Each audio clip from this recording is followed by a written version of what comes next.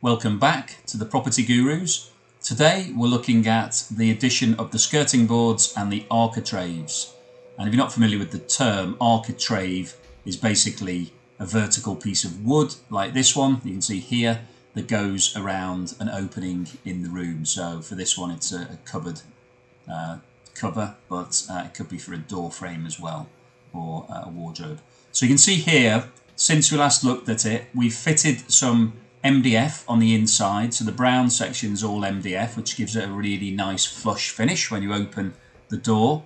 And then the architrave itself has been pinned on. So this has all been cut to size perfectly and then pinned on. So you can see moving over to the built-in wardrobe here we've got the MDF which has been fitted slightly further out uh, here so that we can make space for the architrave on the other side.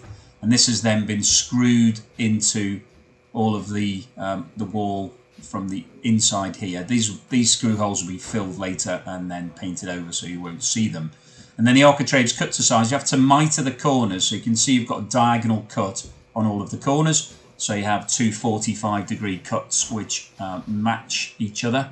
And then these are then nailed to the wall. So you can see the tiny little nail marks all the way around the inside of this frame here. Uh, so they're all nailed and glued into position. So we have a quick look at the chop saw in action, uh, this is fitting a piece of skirting board. So we need to measure the exact size that we're looking for and then we have to mitre the cut. So you can see that the, the saw's at a 45 degree angle. So we cut all of the sizes at 45 degrees so that when they meet each other on a corner then there's a perfect fit and you don't get any gaps. So you can see here he's cut it 45 degrees, then take it over and he's putting it around the corner. So we follow him round and have a quick look. You can see that that fits perfectly and where his fingers are there, you can see two 45 degree angles have met to form a lovely perfect fit. So that's the same corner a bit later and what we're looking at here is further on we've fitted all of these architraves now, so the door frame if you like to call it that and the skirting boards have all been done as well so just following it around similar thing with the skirting boards they're all cut to size and then nailed up. We have a look at the window board. This is something you buy ready-made so it's got the bullnose rounded edge and then you cut to size. And we've left an overhang here of about an inch which is about right. Uh, just having a quick look around you can see all the different angles all the different corners for the skirting boards. This has all been pinned on now, one of the things that's absolutely essential for a brilliant finish to make this room look absolutely fantastic is the caulking.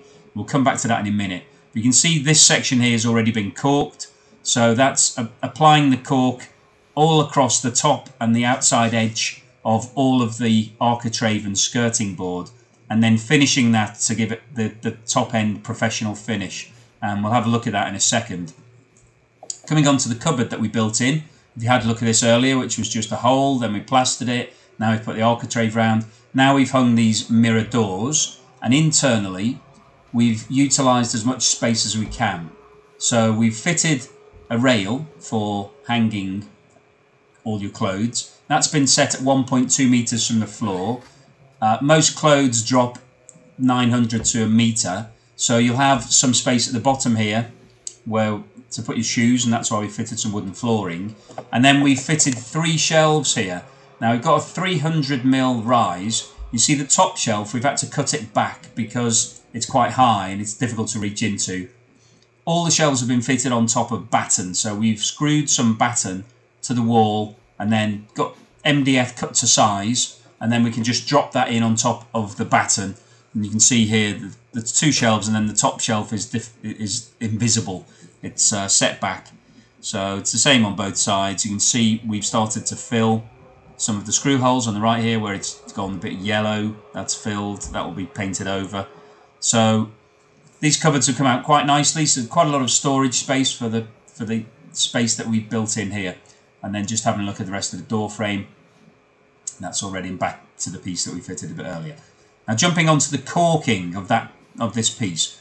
This is absolutely critical. So you apply a thin layer of caulk from the gun, as here, and then you need to press that in with your finger so that it's nice and smooth and goes into all of the cracks and fills all the crevices. So that's where some people may leave it. They just use the finger. Um, sometimes you have to apply a little bit more if it's if it's needing a bit extra or it's just sunk into some of the dents in the wall or the wood. So go both ways with your finger and that gives it a, a nice good finish. And most people would leave it like that. But to give it the absolute professional edge feel, take a piece of wood or just this, this is just an offcut of MDF. And if you use that to then run across the top edge, you can see that there's quite a bit building up on the actual piece of MDF itself. So it skims off all the extra and that then gives it the absolute pristine professional finish that you'll see in any really high-end property. So it takes a bit more time, it's a bit more time consuming, but it's absolutely worth putting the extra effort in because if somebody comes and has a look at this, if somebody with an eye for a build, they'll know that a professional painter has, has done this because the caulk line is really minimized. It's really thin, but it's taken away the gap that was there between the wood and the wall, but it's absolutely perfect. And it's really impossible to get that with your finger. You have to have some sort of tool. You can buy tools on Amazon, but it's really not worth it. Just use a little offcut of wood. So we're just having a look here at some more of the skirting board that's already been done like this. And you know you can see it's a really sharp finish, really top end. We haven't painted this wood yet, but fantastic finish. Jumping into the cupboard, as we said in previous videos, this is all about making a, a feel, a top end finish. So we've put wooden floor in here and we've now put some skirting board in as well. And you can see we put so larger skirting board because there was a bigger gap because of the eaves. And we fitted some lights in here as well, so it's illuminated. So it's starting to get a real high-end finish. We put some skirting board on this side of the wall as well. And then just coming out, the wooden floor, which we've now covered over, uh, is you know it is all in place, all perfect, and the skirting board and the, the window boards are all now in. So this room is really taking shape. When you look back towards that cupboard now, that looks like a very professional finish. Going over to the Velux windows, this has now all been painted in. So we fitted it with the, the kit, which comes with a nice white internal trim. You can see here, this has now all been painted through. Uh, really high-end finish. You can see when we when we look out of the window, it looks perfect on both sides because this comes with their kit and we've painted it all in. And uh, you can see the other Velux over the other side. Starting to look super professional. It's got a nice trim around the outside here, which allows the water to, to run away. Make sure there's no water seeping in through these tiles on the outside. So it's all looking really high-end, real nice professional finish. And then going back, just having a look at some of the fittings, we fitted a dimmer switch to this room, which uh, enables you to then dim the lights. And one of the benefits of that is you don't have to put different rings in. Sometimes you'd want to put two or three different rings, but it just costs more and you have more switches. So um, we didn't want to do that. And just looking at the rest of the fittings, they're all polished chrome, all quite nice finish, gives it a high-end feel. Door handles, switches, all in the same polished chrome effect. It's uh, all starting to, to take some real shape um, you see we've done it with the extractor fan. All the sockets in the room are the same. Now these aren't expensive.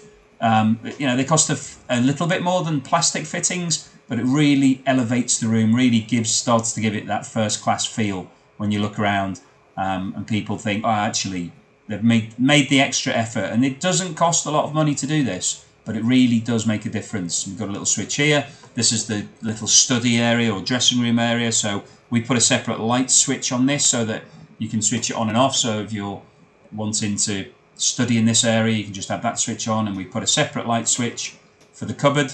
Just little touches like that really give you the high-end finish and are worth doing every single time.